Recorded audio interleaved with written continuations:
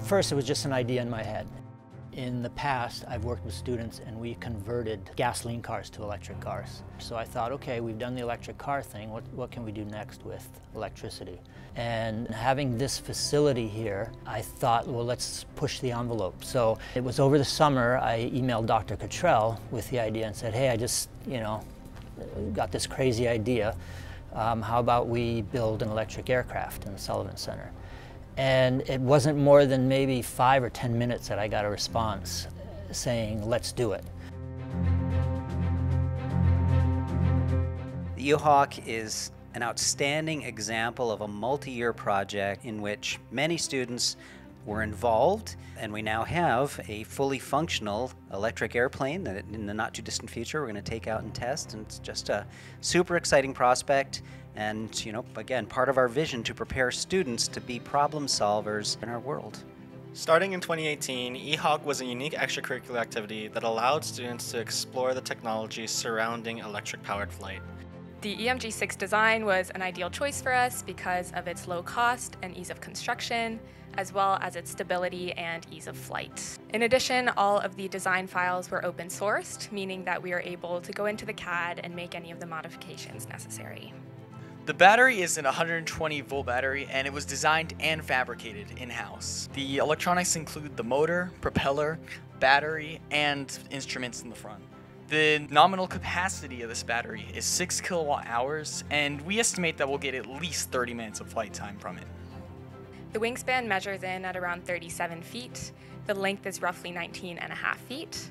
The empty weight of the aircraft is 305 pounds, with an additional 80 pounds being added in by the battery. It was honestly kind of like a crazy experience for me. Like throughout the entire four years of me working on the project, most of it has been me and like a handful of peers working on the third floor of Sullivan. So having such a big crowd and having to present all of our work, it also like reminded me of how much we really have accomplished over the past four years um, being able to compile all of that work into like a 15 or 20 minute presentation really showed how much we were able to make progress since when we started um, back in my freshman year.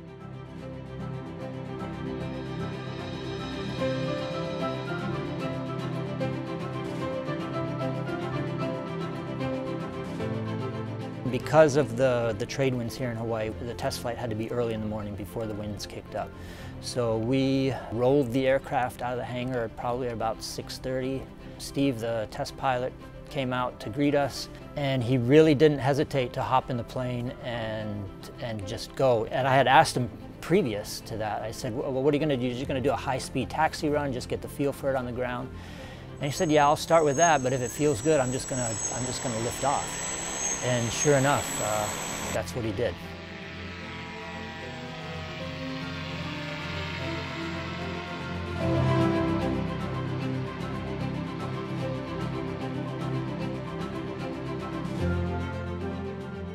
I was filled with pure excitement, is what I would say. Like maybe I should have been a little bit more nervous because it is something that's very experimental. Like as it was building up speed on the runway, as it got faster and faster, I would grow more and more nervous. Um, but then when I saw it take off for the first time, it was like, oh my God, it's finally in the air. Like I felt a huge sigh of relief. And then, especially with the subsequent test flights where we were able to fix any kinks and stuff, it's really incredible to see it fly for like a longer duration of time.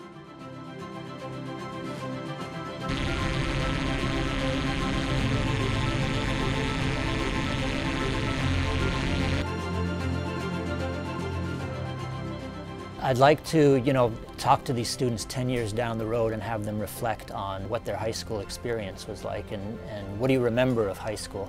And, you know, based on my experience in high school, it's, it's opportunities like these that they're really gonna remember and be able to reflect upon. And they'll even, you know, drive them in their, in their future jobs, and their occupations in my um, thermodynamics lecture recently, we had a guest lecturer come in and talk about the work of converting aircrafts to um, using renewable energy or trying to make them more sustainable. So it's really interesting to see how the work that I did on the EHawk project kind of relates to work that's being done in the industry currently. Working on this project really ignited an interest in sustainability for me personally. that I've been able to explore through different facets, um, both on work that involves uh, decarbonization as well as uh, other work in sustainability. After the test pilot flew it four or five times, then that gave me the confidence to hop in and fly it myself.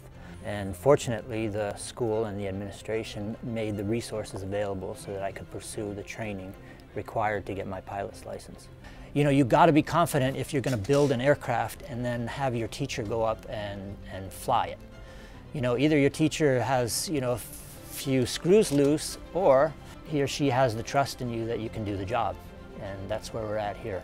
Very capable students and we hope to continue, you know, pushing the envelope, doing many more projects like this.